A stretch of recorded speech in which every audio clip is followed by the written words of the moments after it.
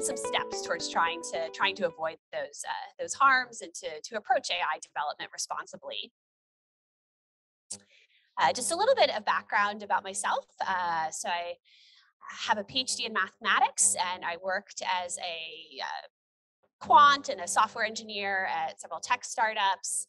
Um, then kind of returned. I love teaching, ended up at the University of San Francisco as faculty. And five years ago, together with Jeremy Howard, co-founded Fast AI. I'll speak a little bit about our work in a moment. Um, and then about three years ago, started a Center for Applied Data Ethics at the University of San Francisco. Uh, but since then, I have moved to Brisbane permanently, which I'm uh, really excited about. Uh, I'm yeah happy to be here. My partner is from Victoria, and his lifelong dream was to live in Queensland.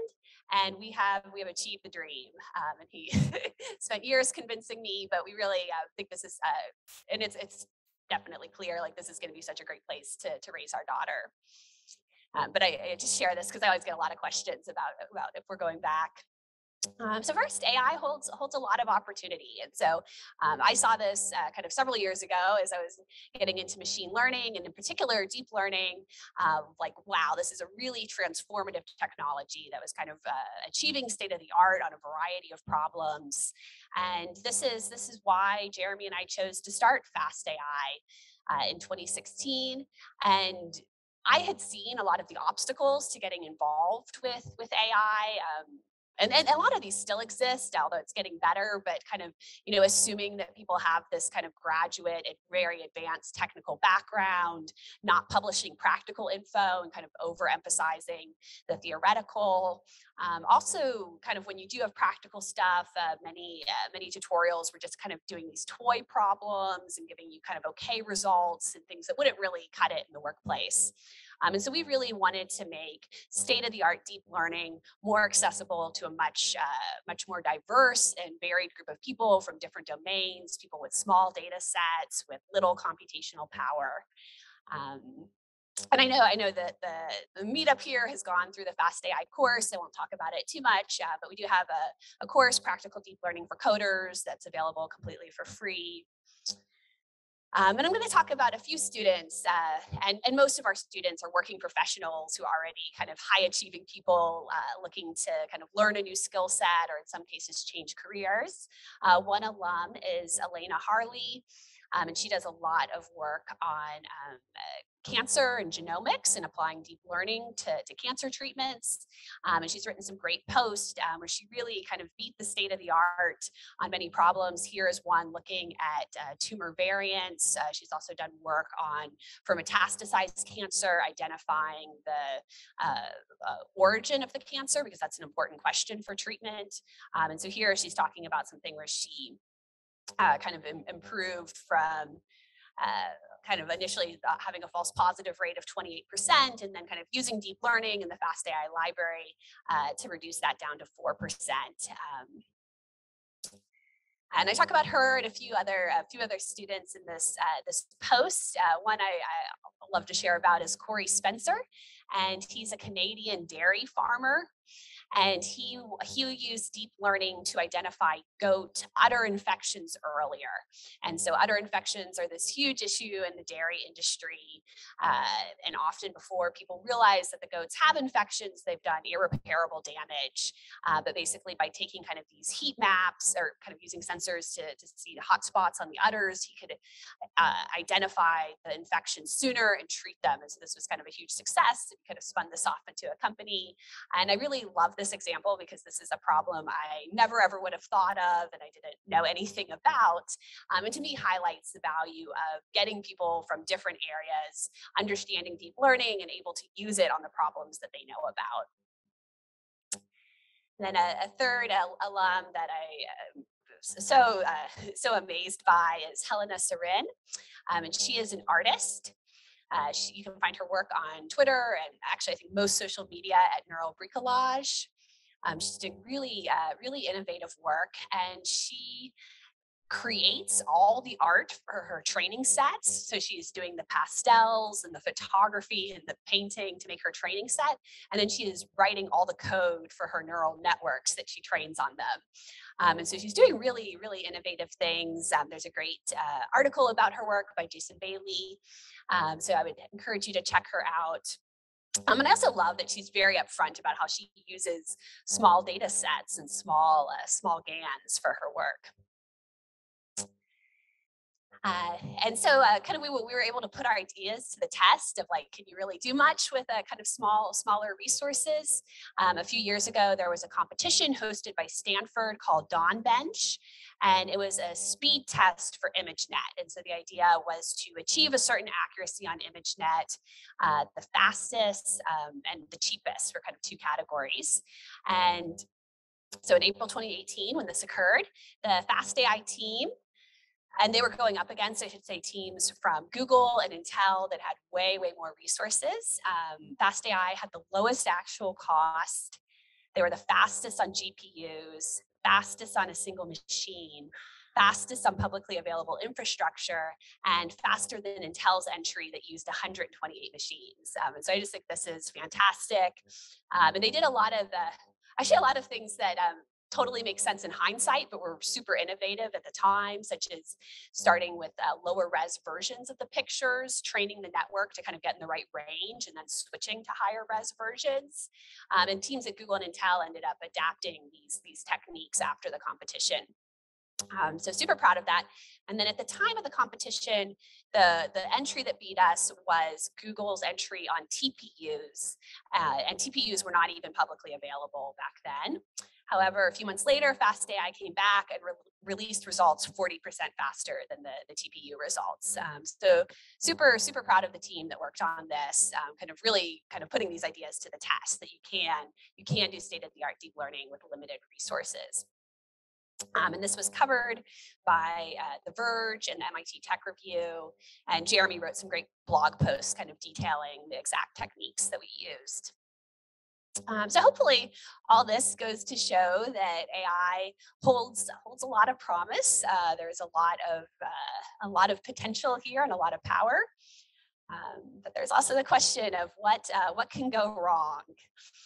As I'm going to talk about about a few things that can go wrong. Uh, one is unjust bias. Um, and so I'm not talking about the bias in the statistical sense, but um, kind of uh, uh, unjust bias, um, sociological bias, and so we see examples and things. Um, this was a paper in the Proceedings of the National Academy of Sciences looking at uh, lung x-rays. Um, this was interesting. And if you use a really gender imbalanced data set for, for lung x-rays, you get worse performance on uh, the gender that you did not include in your data set, which uh, makes sense. And so if you have, you know, x-ray is 75% from men and only 25% from women.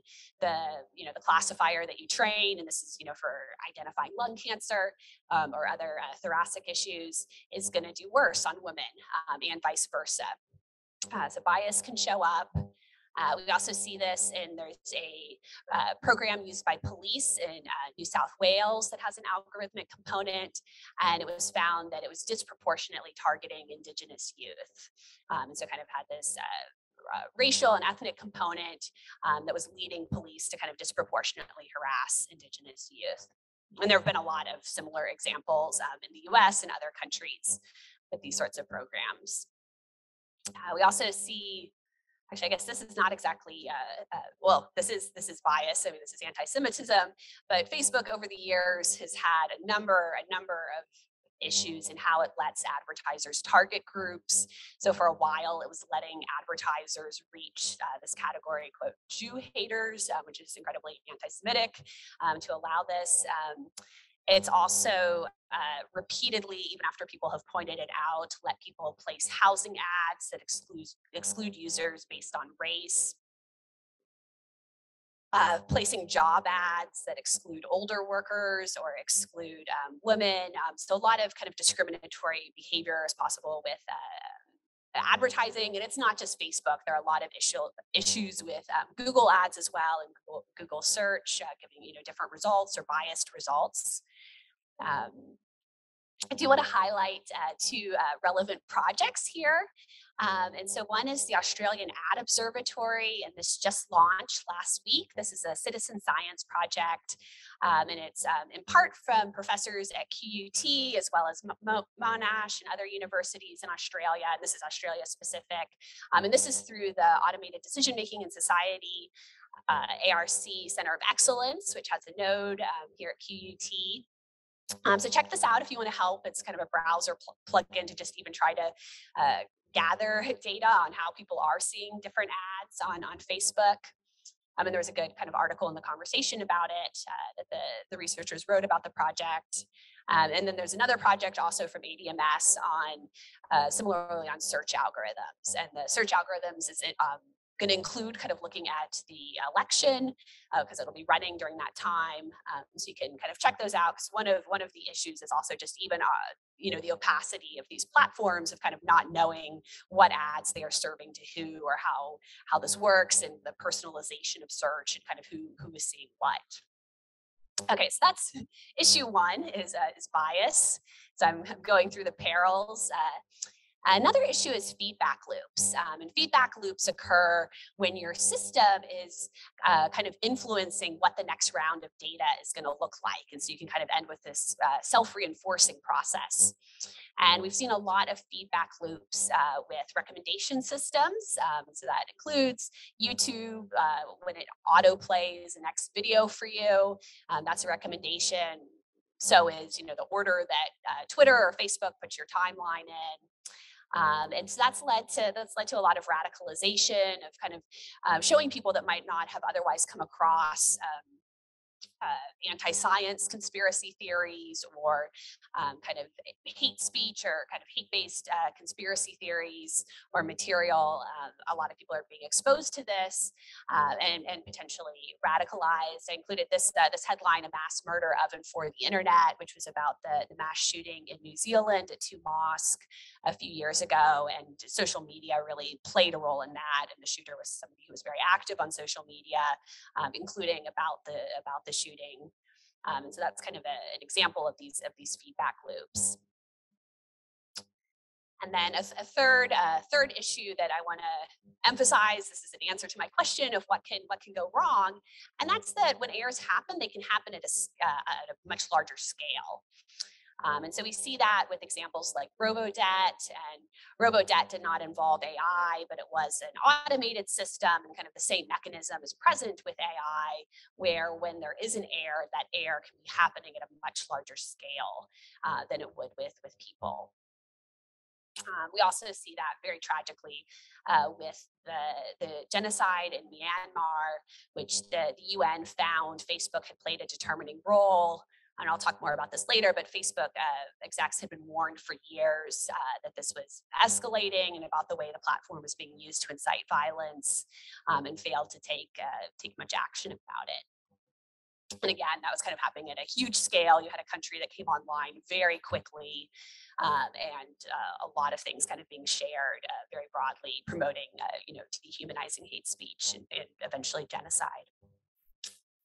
Um, yeah, and so I found um, I kind of found these uh, problems so captivating that kind of over the past few years they were more and more. This was kind of all all I could think about, and so I ended up. Um, uh, pivoting from from being mostly focused on fast AI to, to starting a center for applied data ethics at the University of San Francisco to really um, try to focus on on these issues uh, because they are I think so so urgent and are impacting people now and, and harming real people. Um, and this is something that's, I should also say that uh, these values have been woven into Fast AI from the start of including, including education about ethics and, and I'll talk about this more later, but also the role of diversity in getting people from other backgrounds towards trying to uh, address and mitigate these, these ethics issues. So here, I want to um, I want to address a question that I hear. I get a lot of variations on this, um, which is kind of why the fuss about algorithmic harms. You know, so the things I mentioned. You know, I talked about bias, but humans are biased too. You know, there's tons of research showing kind of how biased humans are. Um, and I've talked about errors, but humans make errors too. So why uh, why am I focused on algorithmic harms? Why is this something to particularly uh, to worry about? And there are a few reasons. One is that machine learning can amplify bias. Um, so it's not just encoding already existing biases. And there's several studies that have shown this. Um, this one is one that looked at uh, kind of job descriptions on LinkedIn. And it found that in data sets that were already imbalanced, so for instance, surgeons kind of in their data set, um, only 14% of the surgeons in their data set were women.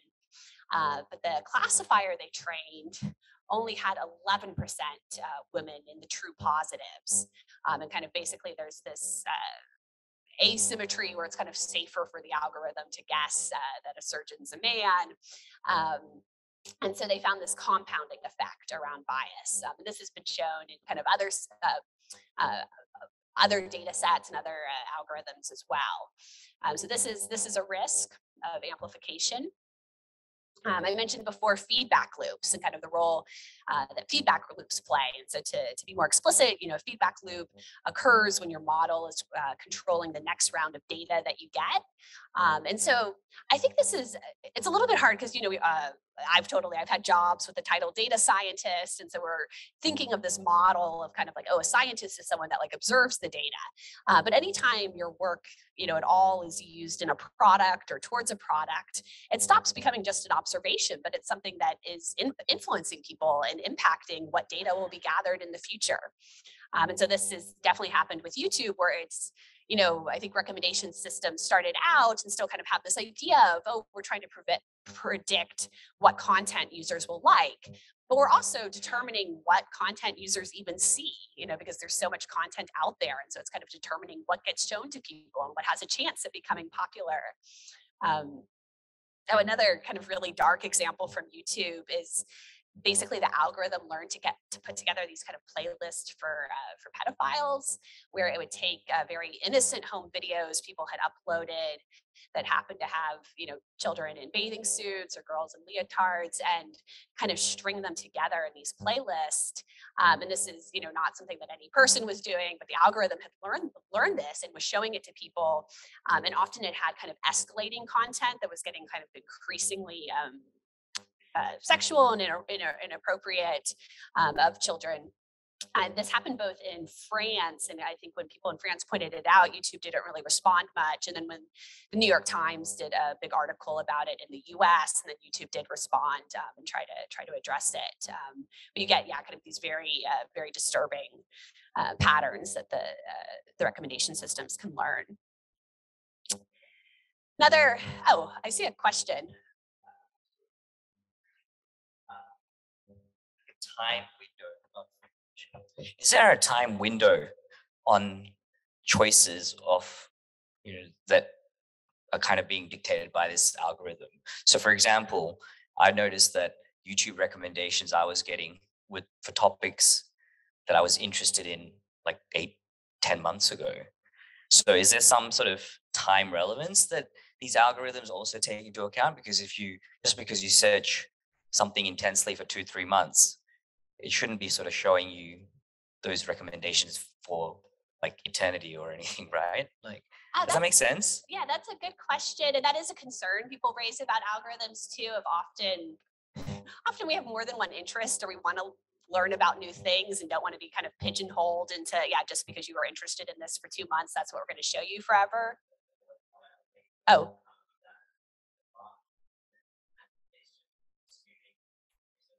point it's not actually sort of letting that you know micro development change.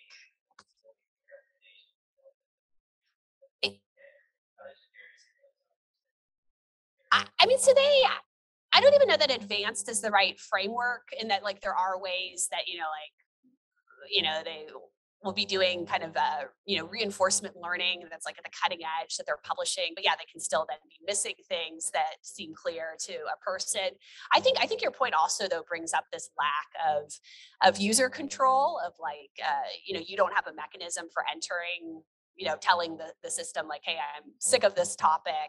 Um, and so there is a question about i think user control and user values. Um, you know you also don't have a mechanism of telling um, uh, telling the algorithm like, hey, today I want to learn new things versus today I just want to watch funny videos or you know those sorts of different goals that you might have. Um, so in some ways it's quite coarse, but in other ways it can be doing things that are um, at least technically sophisticated. Um, yeah, no, that's that's a good good point.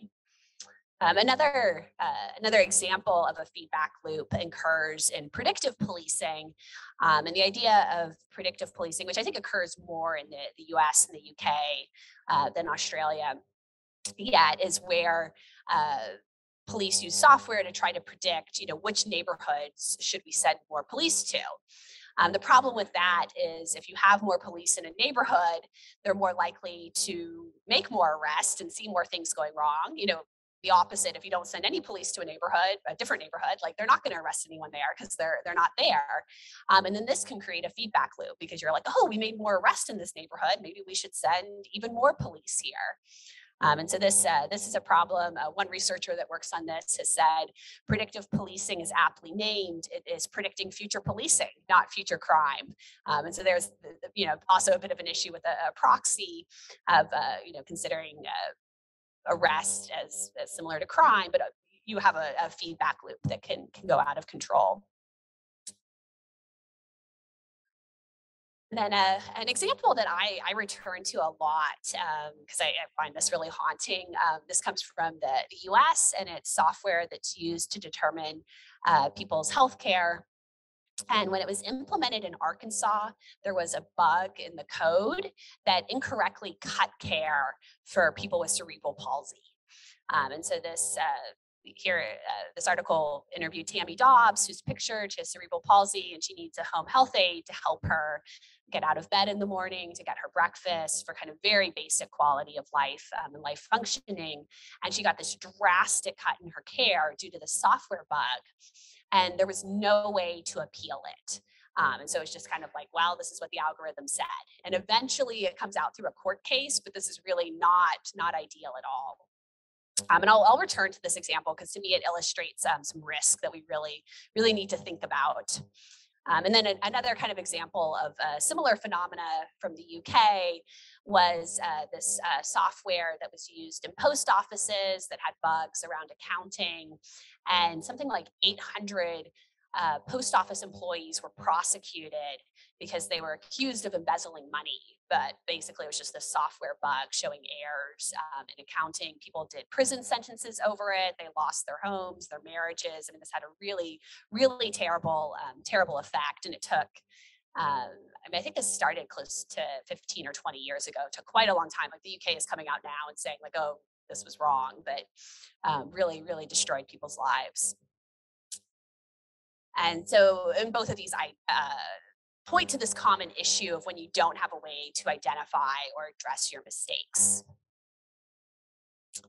Um, they also kind of highlight that algorithms are often used differently than human decision makers.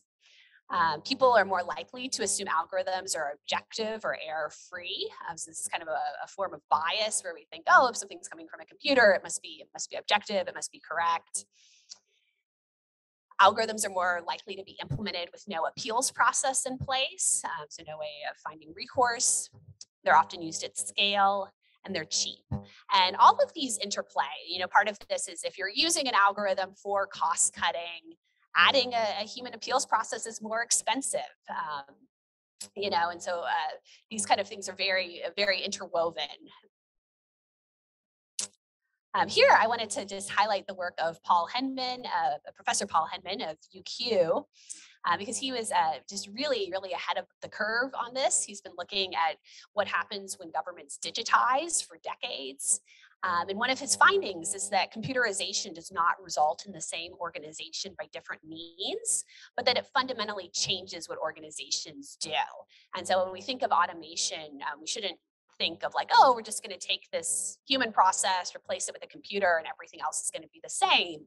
But rather, all these other aspects of policy and kind of how how things work in the org are typically going to change as well and that's part of kind of what we were seeing with this this previous uh, uh, these previous examples where there was you know no uh, no way to catch mistakes or taking out your appeals process. Um, and he he covers robo debt as a as a case study where they are you know in many ways the the automated system was a smokescreen for a policy change. Like they made some very fundamental policy changes with robo-debt and how um, how these debts were calculated and collected, but it was you know pushed as like, oh, we're using kind of software and efficiency, and then there are these policy changes that are, are not as talked about.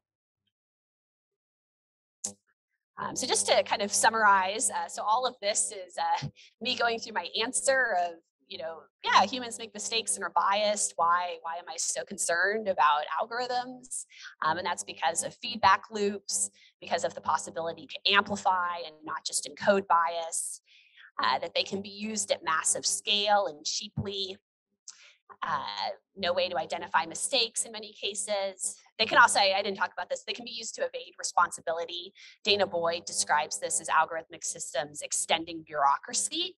And so throughout history, uh, humans have used bureaucracy as a way to kind of pass the buck and avoid responsibility and, and, and sometimes i think it's not even intentional. Sometimes it's just like oh we have this complicated bureaucratic system so it's somebody else's fault.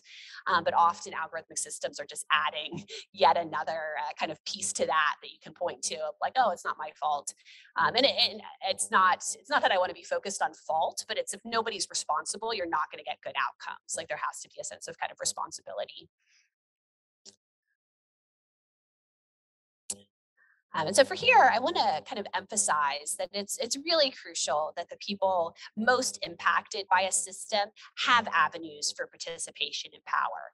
I mean, I think some of the kind of most concerning examples of what can go wrong um, occur when the people who are being impacted by uh, by an algorithm or by a software system don't don't have any power and don't have any way to kind of participate. Uh, to me, ethics issues really underscore why we need everyone involved with AI and why I actually want more people involved with AI. And that's because I'm kind of having a, a greater diversity of who's involved, having people from all domains, increased um, increased participation for the humanities and social sciences, which give us really, really important and needed kind of lenses and expertise for approaching these problems. And I think everyone in society needs a level of AI literacy also to evaluate claims that people are making of, you know, can the system do what people are claiming it can do? Um, so kind of looking back, you know, we had this example of, you know, the algorithm cutting healthcare, and that's something where the the patients with cerebral palsy who lost access to healthcare, like they knew something was wrong right away, but they, um, you know, didn't have a way to get their complaints heard. Um, Another example comes from Twitter. Uh, this is back in early 26, uh, no, early 2014. Um, so it was before Gamergate, before the 2016 election, kind of before a lot of the things that have happened since, um, there was this campaign of trolls that impersonated Black women to try to get this hashtag trending uh, about canceling Father's Day. And a number of Black women notif- noticed, you know, like, hey, there are these fishy accounts and things seem really off about this. And they actually found the uh, the message boards where the trolls had kind of uh, uh, planned like hey this is what we're trying to do and they flagged all these accounts um, and twitter really did not respond much at the time um, and the the black woman that discovered this you know identified kind of like this is the playbook that these trolls used for this kind of fake uh, fake twitter campaign and these impersonated accounts with you know where they've stolen other people's profile pictures to, to pretend to be people that they're not um, and yeah, they were not really listened to though the the, the women that identified it. Um, and then again, you know the the genocide in Myanmar. Uh, kind of civil society people on the ground in Myanmar saw this coming years in advance and were warning Facebook execs as early as 2013, 2014, 2015. Someone close to the close to the matter who you know lived and worked in Myanmar said, you know, Facebook has the potential to to be what the radio broadcast were in Rwanda um, in in Myanmar. Um, and and they told this to Facebook execs in 2015 and Facebook still like by end of 2015 I think only had four content moderators that spoke Burmese. Um, you know, so just really really appalling kind of lack of action. Um, even though other people could see could see this problem coming. Um, and so, so all this highlights, sorry, these are kind of some very, very dark examples, um, but these really highlight how often the people most impacted by a system have the least power they recognize the issue early, but they're not listened to. And they also often best understand the needed interventions and kind of know like this is what would really help us uh, to, to kind of address this issue. Um, and so this is this is something that we kind of uh, need to, to build into build into systems more. And I'll talk talk about this more in a moment. Uh, a kind of a positive example, on the other hand, comes from Tracy Chou, who was one of the first five employees at Quora, and she went on to be one of the first engineers at Pinterest as well. Um, and she talks about how the first feature she built at Quora was the block button. Um, and that was because she was personally being harassed on the site. She was also the only woman at the company. Um, and she saw, you know, like we need a block button. And she says if she hadn't been there, they would not have built it probably till much later. But she was able to kind of prioritize that um, by, by being a part of the team. So I think that's a kind of an example of, uh, of the positive things that can happen with, uh, with a diverse team. So one of uh, one of my favorite events of the last few years uh, was the participatory approaches to machine learning workshop at ICML. ICML is kind of a huge um, academic machine learning conference in 2020. Um, and I loved the, the call for the workshop. They talked about how the designers of a machine learning system have far more power over the system than the individuals who are impacted. Um, and that too often kind of when we try to solve these problems we focus on centralized solutions which just give kind of increasing power to system designers and operators. Um, and they call for for searching for more democratic cooperative and participatory ml systems. And so i found this a, a, a really beautiful vision um, and i'm excited to see people working on this in the machine learning community of, of what will it look like for machine learning to be to be more cooperative and participatory um, so on that, I always um, I always like to to give people you know something practical what you could do. I don't want this just to be a talk where you leave and feel depressed of like oh that was pretty gloomy. Um, so here here are a few practices you can implement. Um, so I love uh, the Markkula Center for Applied Ethics at Santa Clara University uh, has uh, some really really great researchers and great materials available online in their ethics and technology practice. And I particularly like their ethics toolkit. Um, and I'm just, they have seven tools. I'm just going to mention two of them in the interest of time, but check this out. These are designed to be things that if you work at a company that you could implement in your company. Um, and so tool three, actually I should, I should mention tool one is kind of this idea around basically like red teaming of where you are proactively have people kind of looking for what could go wrong before it goes wrong and making that a process you do regularly and that you reward and kind of keep uh, uh, keep central. Uh, tool three is called expanding the ethical circle. And it's really about just thinking, you know, whose interests, desires, skills, experiences, and values have you possibly assumed rather than actually consulted? And really trying to kind of get more people and more viewpoints um, in there to, to look at uh, to look at your your product and the impact. Um, and I won't won't go through all of these, but recognizing kind of the stakeholders who are impacted by our product are much broader than just the uh, the customers. That you know other people could be impacted. Like you can not even have a Facebook account and definitely be impacted by Facebook and how it how it influences the world.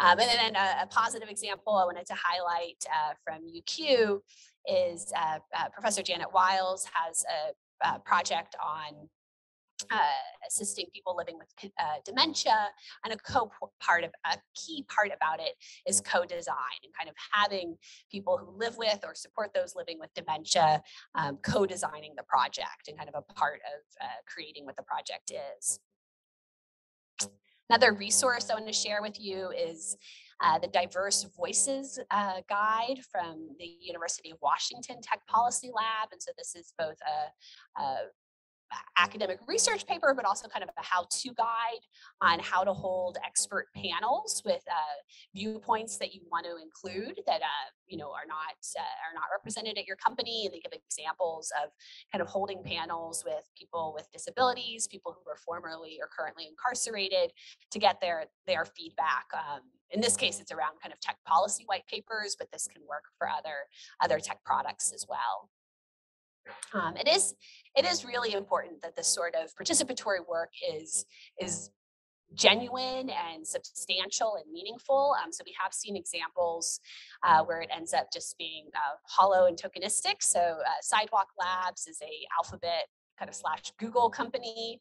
Um, and in Toronto, they held a consultation with indigenous elders. And it was this kind of like week, uh, several day thing. And the, uh, the indigenous elders came up with 14 recommendations.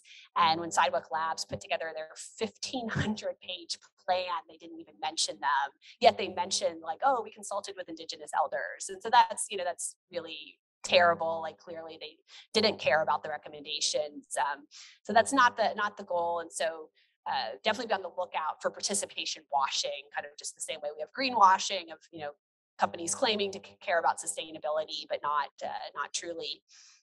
Um, so that can happen. There's a great paper on this called participation. Participation is not a design fix for machine learning, and this is not saying to not have participation, but to make sure that you're doing it in a in a genuine way. So that was a, that was one of the tools. Um, another tool is closing the loop, uh, really making sure that you have channels for feedback. And so that was that one of those problems we saw earlier where you know mistakes were happening and people could even see the mistakes and they didn't have any way to kind of elevate those concerns to someone who could address them. Um, and so this kind of gives uh, some guidelines of making sure that you have a way to actually get ethical feedback so that you can incorporate that and kind of improve improve what you're doing. Uh, a concrete example of this uh, comes from Alex Feerst, who is previously the chief legal officer of Medium. Um, and so he talks about the separation of uh, product people and trust people. And so, and I, am actually still kind of getting up to speed on Australian uh, startups and tech companies. Um, in the US, typically, uh, product design and engineering will kind of be in like you know one group and then totally separate will be trust and safety and trust and safety includes like content moderation uh, whoever is handling user complaints often legal um, but kind of people who are on the front lines of hearing like what's going wrong like what are the customer complaints like what's the the terrible um, what are the yeah what are the things that are breaking? And that is totally separate from kind of product engineering and design which are really like driving uh, driving what's built and this is a real problem. And Alex uh, interviews someone who says the separation of product people and trust people worries me uh, because in a world where product managers and engineers and visionaries cared about this stuff, it would be baked into how things get built. Um, you know, and if it stays this way, the big stuff is not going to change. Uh, so I thought that was kind of a good practical suggestion of just having more integration between uh, between those groups. Um, I do I do want to note uh, as well that uh, technology is not going to solve all of this. Um, and I sometimes have students, you know, that are like, oh, you know, just give me the algorithm that will debias my data set. I want to run that and, you know, check, I'm done.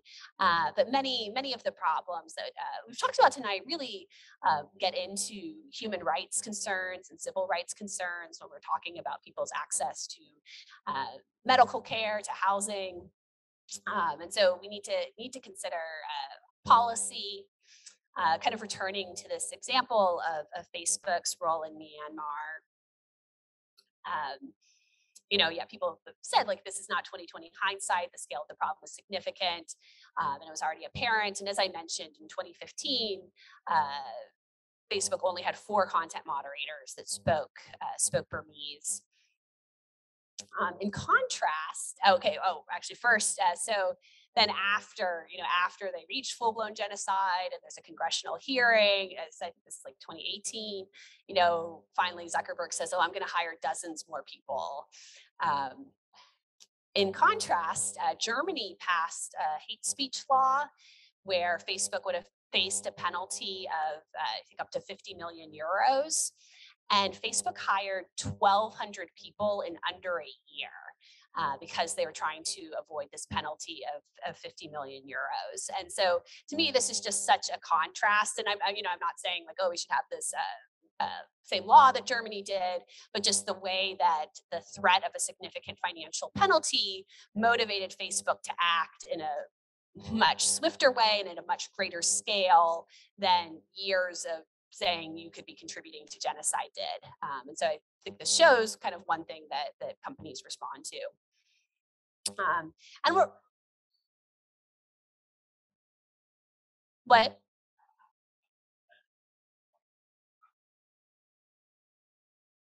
Is, yeah, it isn't Facebook's responsibility to stop people being dicks to one another.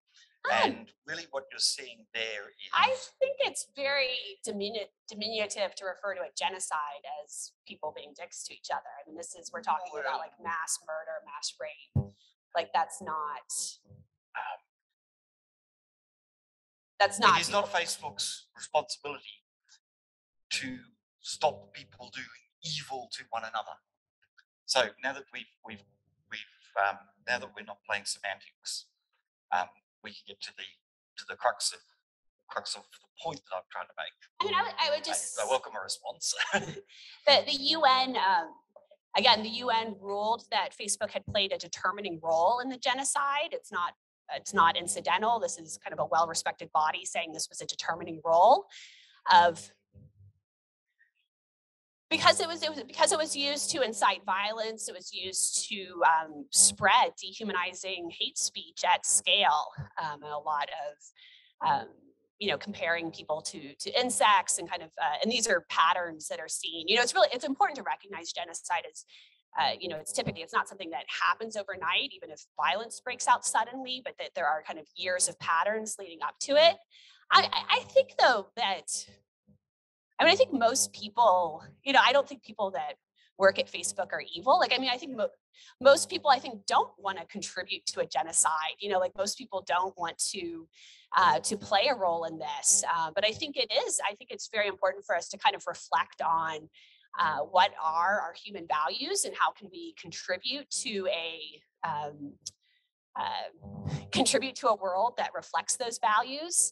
Um, and so I would say that to, uh, yeah, I would not uh, uh, dismiss away of, yeah, that it's uh, somehow unimportant uh, to, to contribute to towards a genocide or to not if people are warning you that that's what happening what's happening to to not take action about it. And there's i mean there's a whole history i haven't gone into this um, that you know going back to you know philosophy goes back thousands of years like humans and kind of our cultures have always kind of looked at these questions of what's right and wrong you know and through through different lenses and um, you can see this i mean both in um, Western philosophy, also in various indigenous and First Nations value systems of people kind of uh, determining kind of like what are their values and what do we want to promote as a society. Um, I'm going to continue um, continue for now. Uh, I wanted I wanted to highlight that. Uh, uh, we need both policy and ethical industry behavior.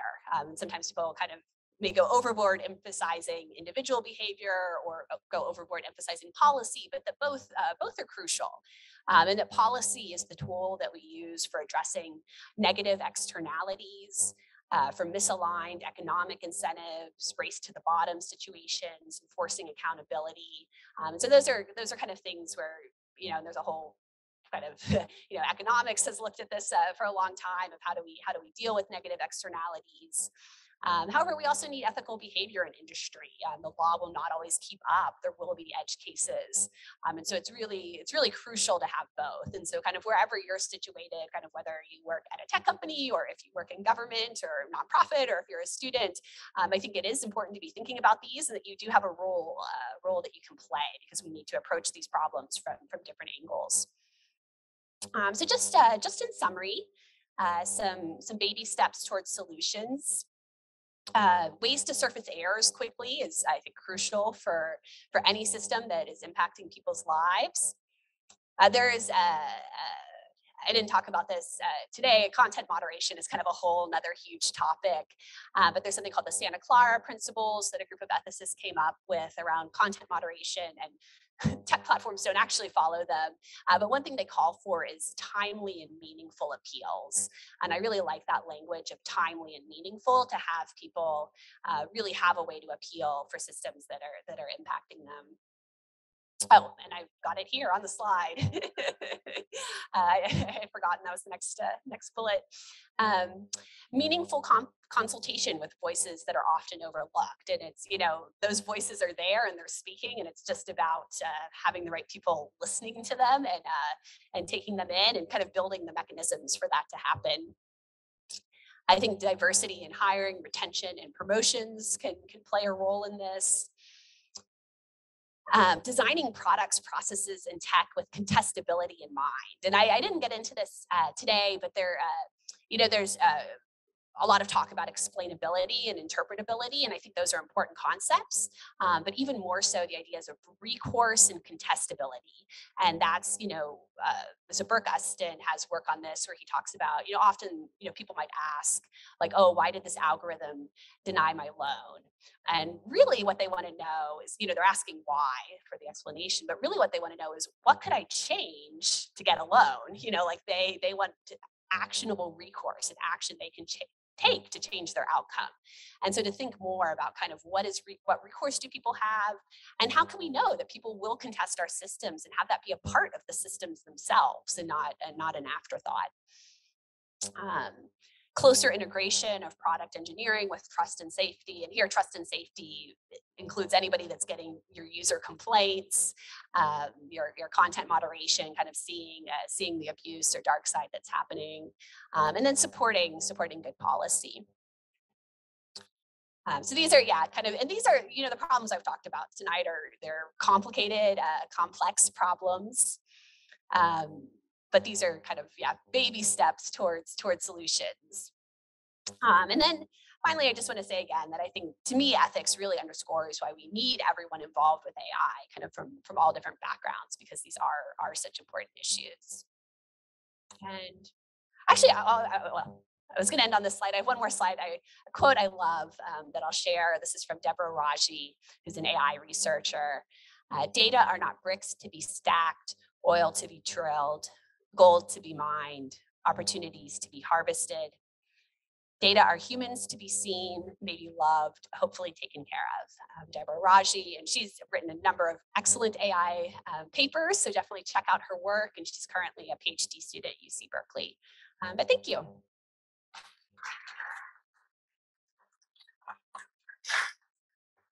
All right, thank you, Rachel. We will start some Q&A. So if you have questions, please put your hand up. The first question we're going to take from one of our online audience, Conrad. His question is, do you think that the simple labeling of a model as machine learning raises red flags about bias that otherwise wouldn't be? Specific example, no one really cares about classical actuarial modeling that leads to insurance companies charging higher car, car insurance premiums for young male drivers because they're a higher risk group does labeling something as a machine learning model mean that we're now not okay with it? Um, yeah, I, th- I think that in some cases it does. Yeah, I think because bias in machine learning, well, and, and it's also to me, uh, you know, to me the greater issue is is the bias itself, not the the type of algorithm. So another example we saw is uh, uh, at Stanford when they started rolling out the COVID vaccines they used uh, they used this algorithm that t- turned out to be like this very simple rule based approach and basically though they vaccinated these kind of like administrators that were like working from home before they vaccinated like frontline residents who were in the ER seeing COVID patients. And so there was like a huge, huge outcry about this, you know, I mean, that was a terrible decision. Um, and initially it was released as like the algorithm, you know, said to do this. And then there was all this debate about like, oh, but this was like too simple to really be an algorithm um, that ended up kind of people debating the, the question of like, should we call this an algorithm or not? Whereas like the, the bigger issue was, you know, like, okay, they vaccinated people that were working from home before they vaccinated kind of people who were at the like lowest career level treating covid patients. Um, and so to me like bringing it back to like who are the humans being harmed is the the most important question. But yes sometimes people do fixate on have we called this machine learning? Have we called it an algorithm? Is it complex or something a bit following from that is it not important to unpack that because if it's just, let's say, a standard algorithm like we traditionally had in computer science for over 50 years, then it's the human decision making. Well, if it's maybe a machine algorithm, it may be something else, or if it's like companies wanting to save costs and therefore don't offer any alternative interact. So if we unpack the problem a bit more, we can probably maybe like the solutions will probably be very diverse and yes and I, I, I agree that you you do need to know yeah like what is the nature of this algorithm to to talk about solutions. Yeah, and that yeah, what you get from a, a machine learning model that is learned from patterns of data versus a rule-based model is going to be different. Um, yeah, and require different solutions. I mean, I, I- guess I will say, um, uh, like, I guess one benefit of the, or not benefit, but like with the rule-based model, it is often clear of like, if there's discriminatory behavior, you can kind of identify it very quickly of like, oh, okay, the, the rule was saying to do this, like it's clear why we got this outcome. Uh, whereas with machine learning, sometimes it's, uh, the underlying dynamic can be like more complex of identifying like, wait, why is it doing this? Uh, firstly, thank you so much. It's been so informative and really helpful and um, great to listen to you this evening. Um, you. secondly, um, just a quick one. What are your thoughts on the Facebook oversight boards? Do you think it's a step in the right direction? Do you think it's toothless tiger? Any sort of thoughts, or do you think it's just too early to make a call on it at this stage? Um, I mean, so my my understanding is that the Facebook oversight board doesn't really have power to to veto things, and you know, and it's also they've been given kind of a very limited framework of, you know, of uh, whether or not they're is it whether or not they're overruling or maintaining these kind of particular type of decisions. So it's just a very limited scope that's not truly empowered. Um, uh, yeah, so that would yeah be be my answer on that. Um, and that and that Facebook in general has, I think, an uncomfortably large amount of power. Hi, uh, Hi. yeah, thanks. I second that. That was a really interesting talk. Thank you. Um, I wanted to ask about from a policy point of view, do you think there are any areas of AI that should be legislated against being used um, ethically? So, for example, autonomous weapons spring to mind. yes, this is this is a big question. Um, yeah, there's like a, an area that I am very concerned about is um, using facial recognition to identify protesters. Um, and so we've had kind of several cases in the U.S. where police have used facial recognition to identify black people that are protesting police violence against black people, which is this uh, uh, uh, I just think kind of terrible use. And so that that's something that worries me. So yes, I do think that there will be, um, and that I mean there already are areas where we we should not uh, should not use AI.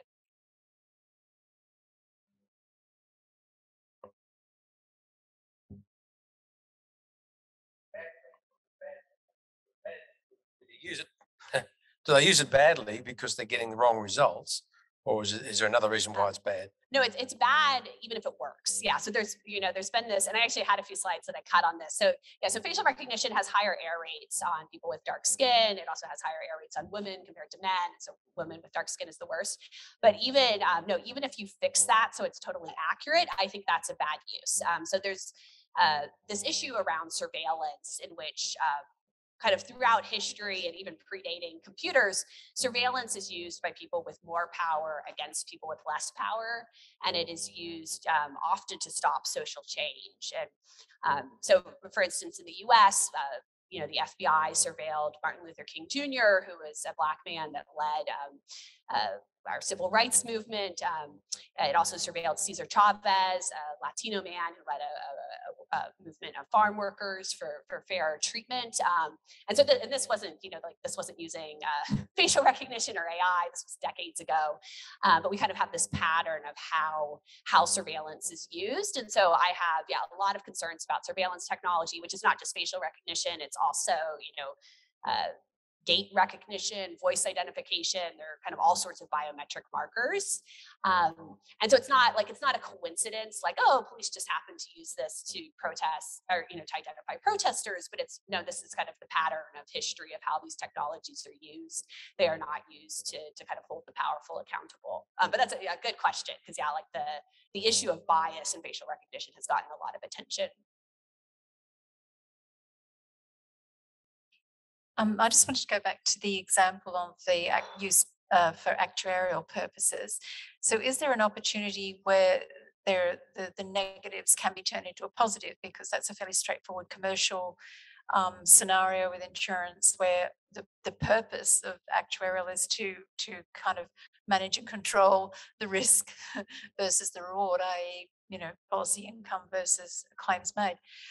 So um, if you identify that there is specifically an area where there's an issue, i.e., young male drivers, etc., um, can that be turned into a positive, or it should be, and, and how can ethics um, around AI, the processes actually turn that into a positive. So identify that as potentially a, a, business opportunity or a new stream or, or a way of engaging or retaining customers, that type of thing.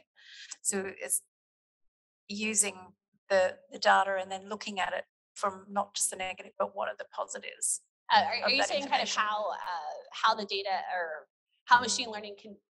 Sorry, so, Yeah. so, the- so like the positive with actu, you're saying the positive with actuarial is that it's used to manage risk. Well, the motive Oh, of actuarial yeah, at the the moment is yeah. to minimize risk. and, Yeah. and yeah, uh, and and and manage the process of claims. I um, you don't write the business, so you reduce your business. Um, you just don't run a risk at all. I you refuse the insurance, you make it so expensive it's not appealing. Um, so if that's the case, what can what kind of tools can be embedded to say, okay, well, yeah, this is happening across so many different um, streams, channels, whatever, and then turn that into something that then could be a potential business opportunity. Like, how do you want to attract and retain those those potential customers that you're actually rejecting? Can you educate them? Can you I offer mean, them um, different like, services? like AI is definitely, uh, it is, it's very efficient at optimizing metrics. And so, yeah, kind of any set of metrics that you give it, it's, it's also excellent at learning patterns in your data. Um, so, it- so much of it depends on the context.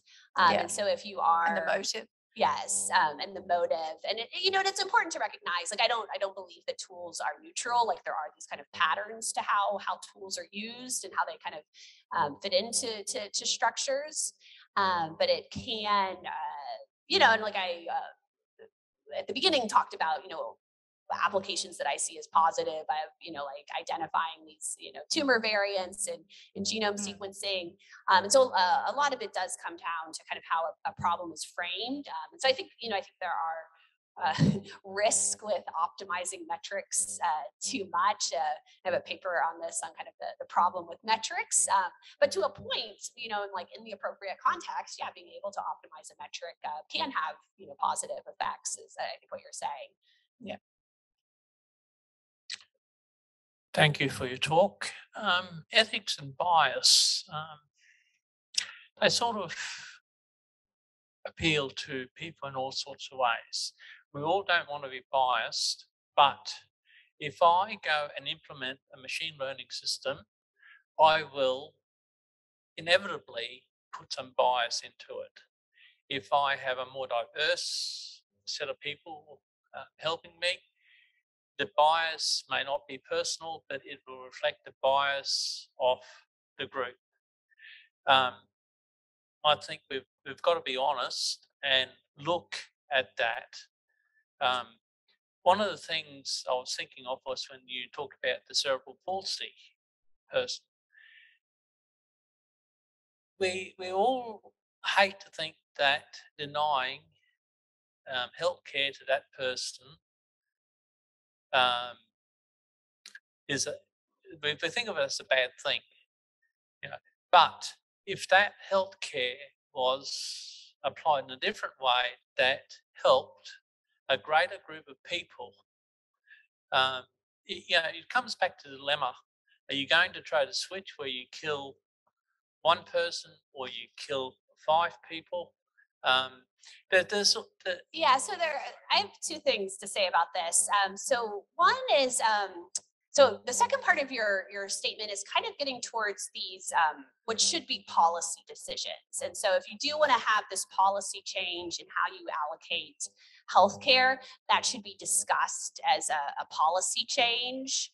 Um, and kind of part of the the problem uh, with automation, you know, is that it can be the smokescreen for policy change um, but it needs to be more clear. And we're kind of seeing this right now with NDIS in Australia, where you know there's this proposal to change this automated system that was initially just like, oh, this is going to be more efficient, this is going to be more equitable, and then it comes out like, oh no, this is about saving. I can't remember if it's like billions of dollars, and it's like that needs to be front and center. Like, no, we're trying to cut billions of dollars from this program, and then get into like, okay, this is how we're going to automate or allocate that but to keep the keep the question of and I, and I think the question of should we be cutting billions of dollars to this program should be front and center um, and not this kind of like afterthought that's sneaked in. And, and then that's partly, um, you know, in this case with the the the bug, like I don't, um, you know, it wasn't particularly that they were trying to cut care to people with cerebral palsy, but there was, I think, these cost-cutting motives.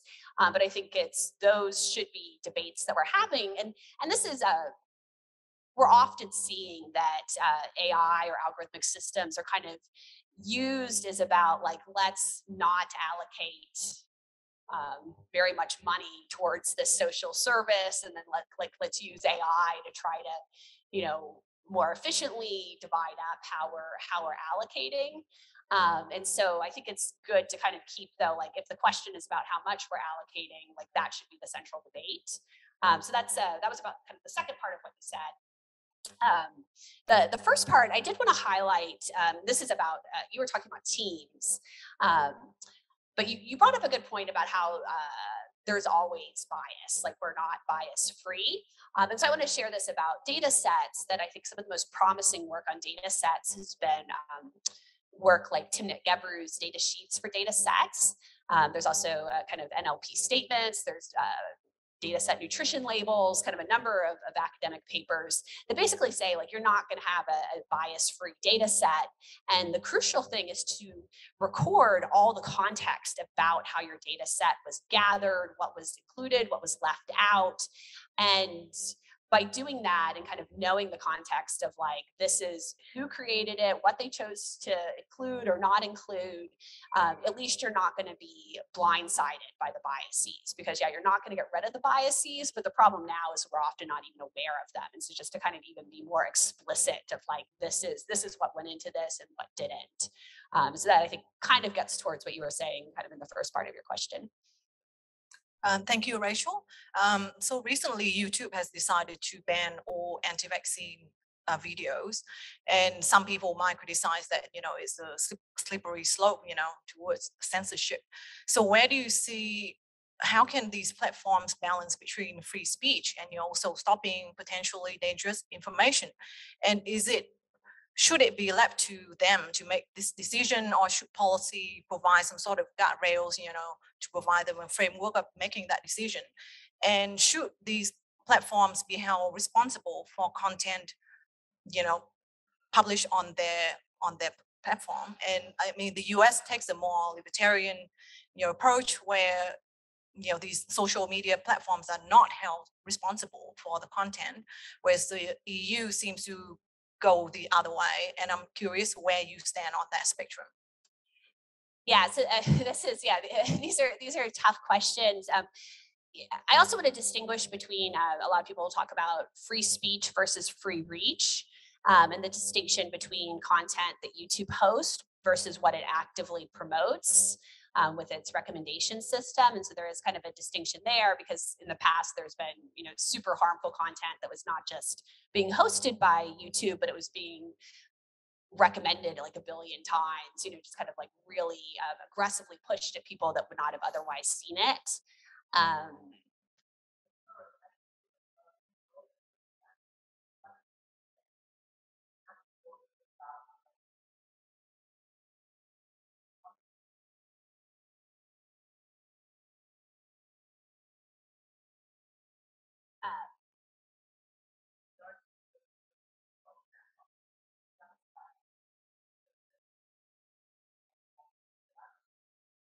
You're saying it's an influencer? Oh. No, but I, I'm talking about how YouTube treats the material, about whether, so although, although now it's kind of this issue of people can tell when they, you know, they feel like they've been shadow banned or, you know, like their material is not, uh, not being shared or not being, not showing up in, um, in YouTube in recommendations. Um, so I, I did want to just make this distinction though between kind of what is hosted versus what is what is recommended. Um, I do think that there needs to be uh, outside input and control. Like I don't think YouTube should just be making its decisions on its own because these decisions do have such a profound impact for for society, and it is weird to have a private corporation um, kind of making making decisions about about what is shown. Um, but I don't have a, a clear like this is the five step policy that we we implement um, to to address this.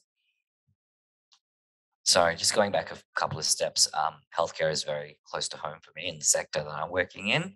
Um, just that question around or comment around the cerebral palsy patient. Um, I can categorically state, say, state that we have enough resources. And so that mindset that we're looking at is more like scarcity. What are we taking away from someone to provide another? The reality is that we should be thinking more, how do we treat more people with a more efficient healthcare sector? So I think there is no need to consider anybody with cerebral palsy to be untreated, just like in America, anyone who, you know, loses two hat two arms in an accident has to choose between one or the other. Yeah, no, So th- just thank you. a bit there. Yeah, no, th- thank you for saying that explicitly. Um, yes, I do agree with you. And I do think, I think this is a pattern in kind of AI debates where they often start at a point of artificial scarce- scarcity and kind of uh, assuming a scarcity that is not, uh, is not really the case. And then, yeah, kind of allocating based on that. responsibility of decision making on a patient's life or health to a machine. It's probably that has gone too far.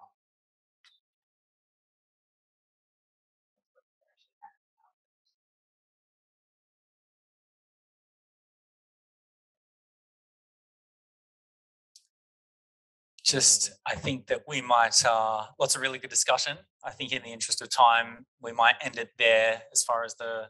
Oh, ma- Oh, sorry. Yeah, I say thank you. Let me make two final plugs uh, as For we sure. wrap up. So one is I have started an AI ethics reading group uh, through the, the AI meetup. And so, uh, yeah, definitely come out and join us for that if you're interested in reading papers on these topics and, and discussing some further, because I, yeah, I can see that many of you have lots of lots of thoughts and insights on this. Um, also, I should have made a plug for this. Um, I taught a course on, on data ethics that covered a lot of these topics, and all the videos for that are online, uh, kind of free. So if you're interested, uh, I think it's ethics.fast.ai would take take you to uh, take you to those videos. And I think just to tag on to that one, it, the course is practical data ethics, right? So it's all about what can you actually do. You know, there's a lot of talk about ethics, a lot of articles, but if you actually want to learn about what you can do, some of the tools you can use as an engineer or a data scientist, there's definitely some great resources in there. Um, for anyone who does want to continue discussion, feel free to, you know, grab some more drinks and, and talk a little bit more. Rachel, just one question. When is the next reading group for AI And so the next reading group is Wednesday, October 27th at 5:45. Um, well, it's at the AI Hub, which is just uh, up a level or no, down a level. Uh, what? In this building.